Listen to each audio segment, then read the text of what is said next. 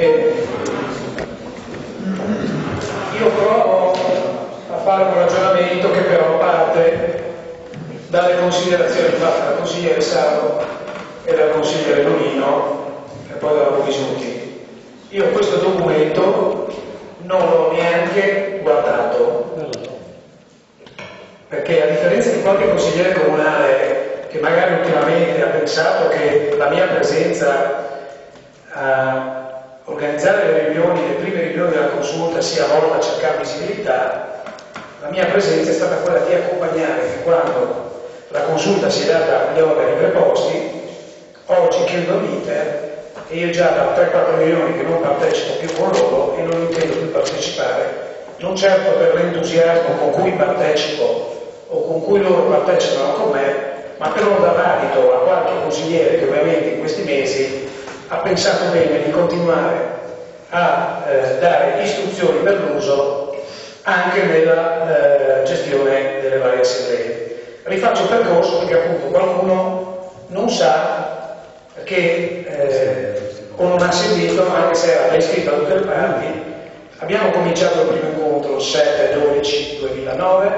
il 7-1-2010, il 28-1-2010, 17-2-2010, 5-3-2010, 12-3-2010, 22-3-2010, 31-3-2010,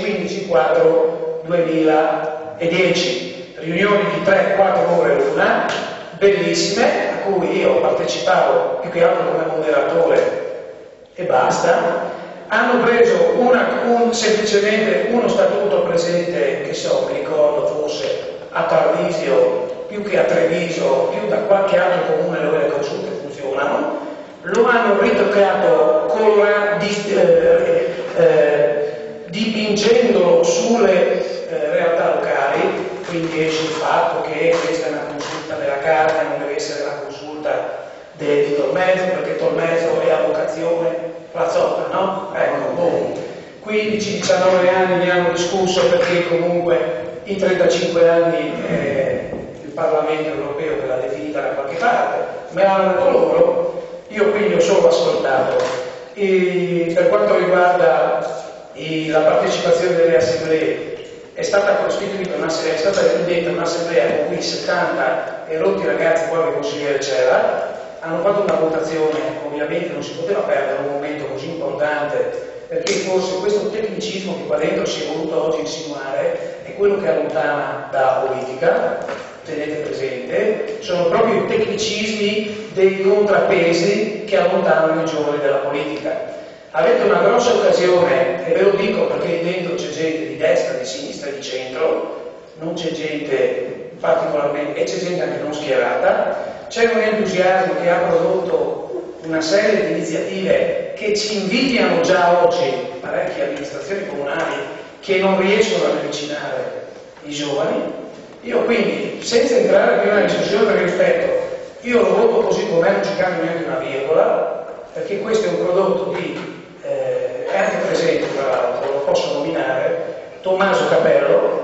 che ha elaborato assieme a un gruppo di lavoro, anche lì i gruppi di lavoro sono nati, sì, improvvisati, ma sono giovani, cosa dobbiamo fare? Veramente? Ragazzi, sì, io mi meraviglio di aver sentito oggi queste cose pensando, io spero non sia il tentativo di pensare che alla fine si vuole sminuire questo lavoro pensando che il regista di tutto questo sono io, perché ho già detto, come ho detto in occasione della Barocco, da cui mi sono dimesso perché a qualche consigliere do fastidio, che io alla consulta non intendo più partecipare, se mi vogliono avere me lo devo mettere per iscritto, se faccio qualche attività collegata, collegata, collegata con le loro attività, non è colpa mia, non è colpa di nessuno, fate non ha ragione. Per quanto riguarda poi tutta una serie di risposte